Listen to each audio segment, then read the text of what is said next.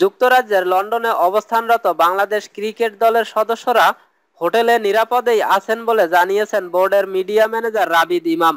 রাবিদ ইমাম জানিয়েছেন, দলের প্রতিটি খেলোয়াড় ও সংশ্লিষ্টরা সবাই নিরাপদেই আছেন এবং তারা হোটেলেই আছেন। বাংলাদেশ দলের নিয়মিত কর্মসূচিতেও কোনো পরিবর্তন আনা হয়নি এখনও চ্যাম্পিয়ন্স ট্রফিতে আগামীকাল অস্ট্রেলিয়ার বিরুদ্ধে মুখোমুখি হওয়ার কথা রয়েছে বাংলাদেশ দলের।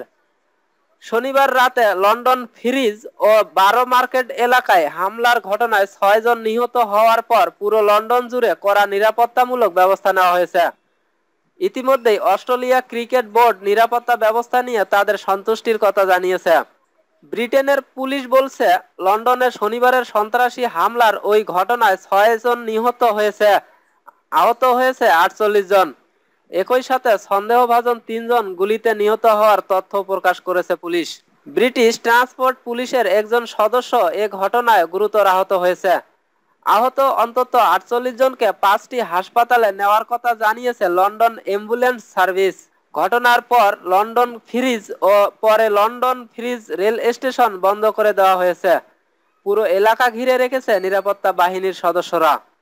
দেশ বিদেশের ক্রিকেটের আপডেট নিউজ নিয়ে আবারও আসব একটু পরেই। লাইক, কমেন্ট এবং সাবস্ক্রাইব করে আমাদের সঙ্গে থাকুন।